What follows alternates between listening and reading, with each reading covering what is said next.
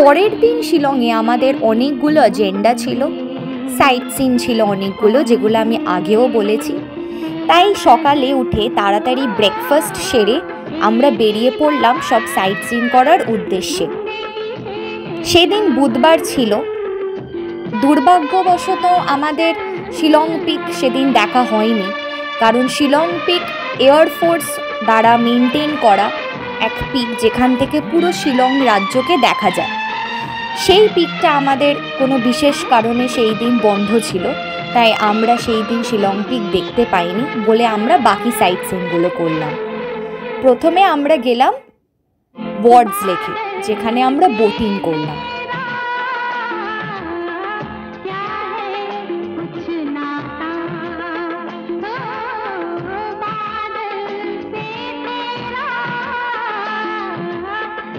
ওয়ার্ডস লেকে ঢোকার পর বুঝতে পেরেছিলাম যে কেন শিলংকে বলা হয় the Scotland of eastern India চারিদিকে এত গ্রিনারি, মাঝে মাঝে রোদ উঠছে, মাঝে মাঝে মেঘ করে আসছে। এক অদ্ভুত ওয়েদার যেটা খুবই ভালো লাগছিল। চারিদিকে এত বিউটিফুল একটা ভিউ যে তখনও আমার মুখে কোনো ভাষা ছিল না সেটাকে বলার জন্য। এখনও আমার মুখে কোনো ভাষা নেই এটাকে ন্যারেট করার জন্য। ওয়ার্ডস লেক স্থানীয়ভাবে পোলক লেক বা নানপোলক নামে পরিচিত। শহরের কেন্দ্রস্থলে অবস্থিত এটি শিলংয়ের অন্যতম দর্শনীয় পর্যটন কেন্দ্র। রথটির পরিকল্পনা করেছিলেন আসামের তৎকালীন প্রধান কমিশনার স্যার উইলিয়াম ওয়ার্ড। এটি ফিটস উইলিয়াম থমাস পোলক দ্বারা ডিজাইন করা হয়েছিল এবং আঠেরোশো চুরানব্বই সালে কর্নেল হপকিন্স দ্বারা নির্মিত হয়েছিল। এটাও বলা হয় যে লেকের চারপাশের এলাকাটি একজন খাসি বন্দি দ্বারা তৈরি করা হয়েছিল, যে তার দৈনন্দিন রুটিনের একঘেয়েমি প্রশমিত করার জন্য এটি করেছিল।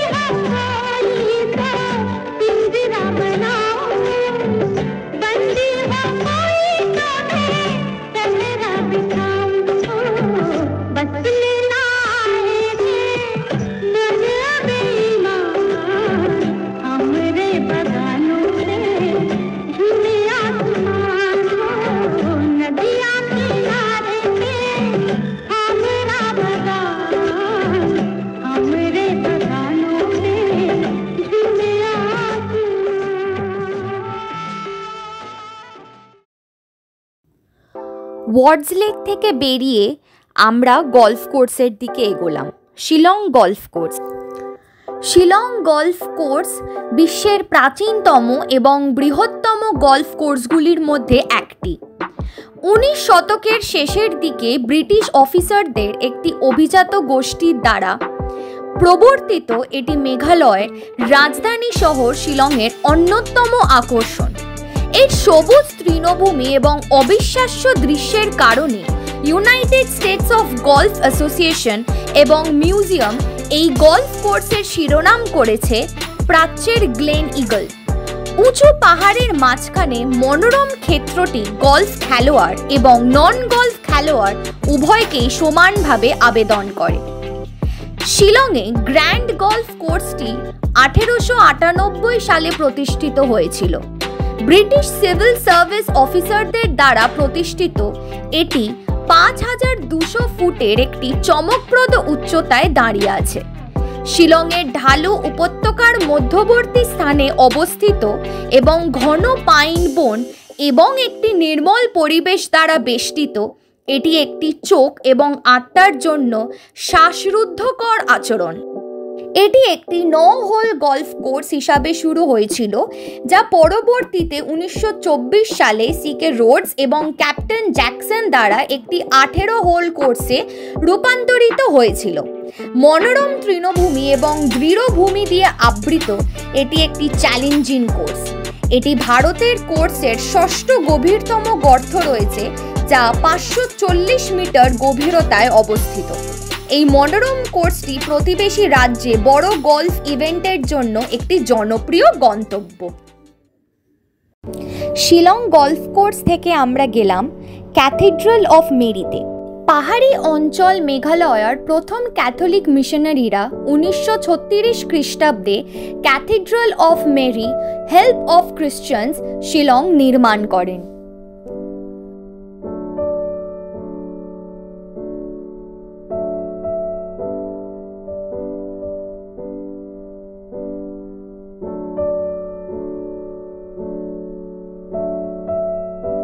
সেইখানে কনভেন্ট স্কুলের ছেলেমেয়েরা একটা সামার ক্যাম্প অর্গানাইজ করেছিল। তারা গান করছিল এনজয় করছিল। সেই সামার ক্যাম্প অনুষ্ঠানের কটা ক্লিপিংস আগে রাখছি আপনাদের জন্য।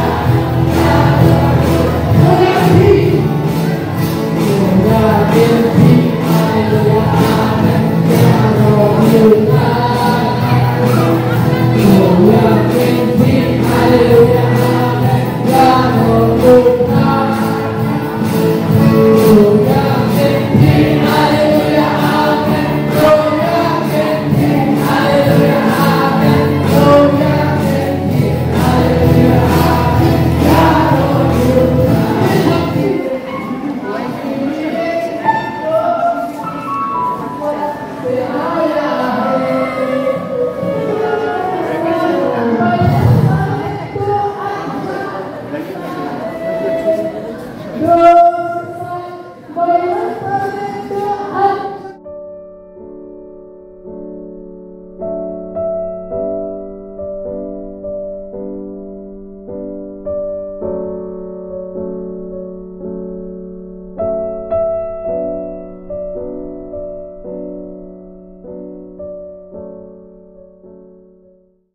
ক্যাথিড্রাল অফ মেরি থেকে আমরা গেছিলাম এলিফ্যান্ট ফলস।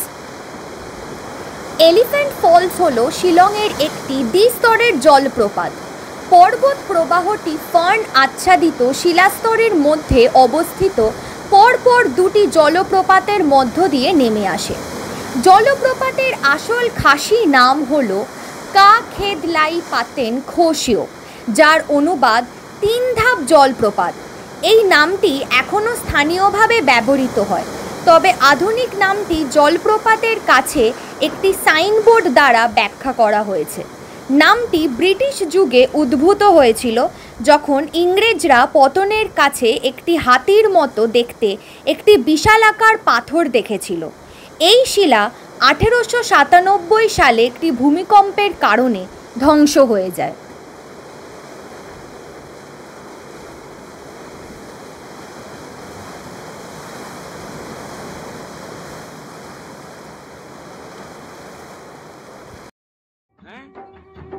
ও না জিতরা না হনো আজির পরা, না সাউনো আজির পরা, না সাউনো খন পূর্ণিমার জোর।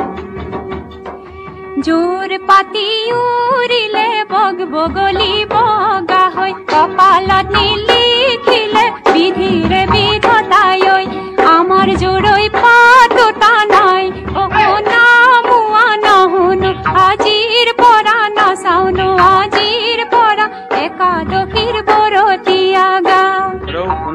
জোৰ পাতিব এতিয়া। তোৰ নাই মোৰ নাই। আৰু ফুল পানী চিঙাতে চিটিকা পাতিলো লাগক কপৌজনী বুলি বলো এইজনী বলো এইজনী কোন ফালৰ মোৰ বনি কোন ফালৰ মোৰ বনি কোন তেলকা কৈ বনি লং ইলাচি দালচেনি লুকুৱাই ঐ ধুৰিয়াই ঐ দিছিলি তামোল খনি মোক এ দিছিলি তামোল খনি মোক এখন গৈ মেলিলো চিটিকা ছিঙিলো গল কপজনী উৰি বলো এই জানি বলো এই জানি তোৰ মিতিৰ আৰু মই ভনী তোৰ মিতিৰ আৰু মই ভনী যা যাও নাগাৰ সঙ্গে তলে বা এ পৰ্বতে পৰ্বতে বগাব পাৰো মই। পৰ্বতে পৰ্বতে বগাব পাৰো মই। হাতীকো এলিফ্যান্ট ফলস থেকে আমরা গেছিলাম Lady Hydari park Lady Hydari পার্কটি উনিশশো বিয়াল্লিশ সালের আসামের তৎকালীন গভর্নর স্যার আকবর হায়দারি তার স্ত্রী লেডি হায়দারির স্মরণে প্রতিষ্ঠিত করেছিলেন।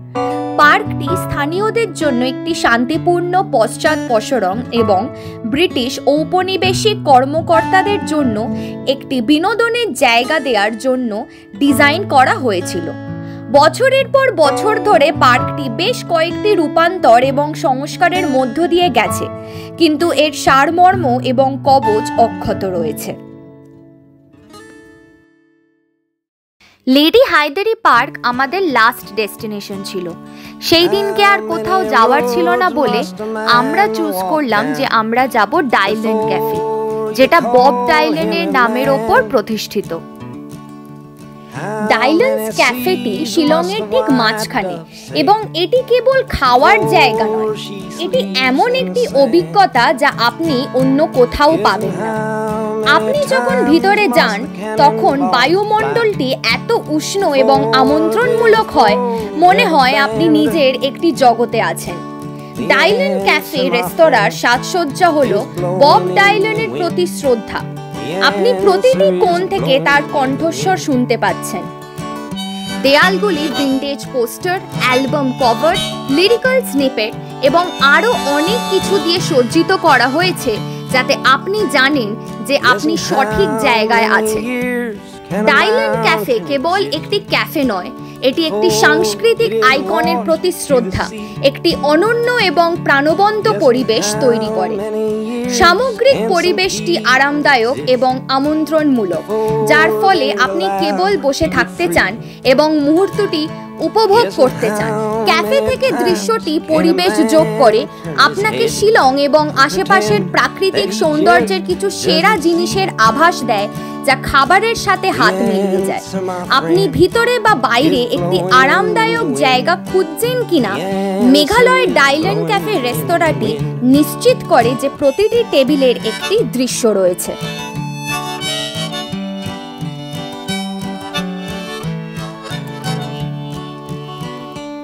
Yes, and how many times must a man look up before he can see the sky? Yes, and how many ears must one man have before he can hear people cry? Yes, and how many deaths will it take till he knows that too many people have died?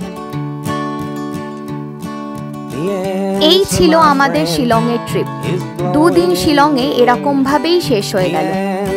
পরের দিন আমরা শিলং থেকে ডাউকি রওনা দিয়েছিলাম সেখানেই আমরা stay করেছিলাম। সেই দৃশ্যগুলো সেই ছবিগুলো থাকবে আমার পরের ভিডিওতে। এই ভিডিওতে এতটুকুই।